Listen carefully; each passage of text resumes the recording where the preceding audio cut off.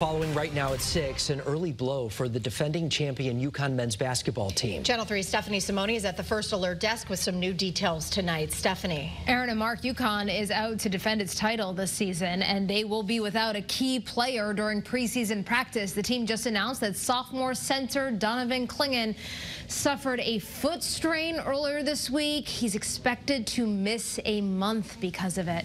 Clingan averaged 6.9 points and 5.6 rebounds per game last season and was a big East all-freshman team selection. He is expected to fully recover and will be ready for the start of the season. On the First Alert Desk, I'm Stephanie Simoni, Channel 3 Eyewitness News. Stephanie,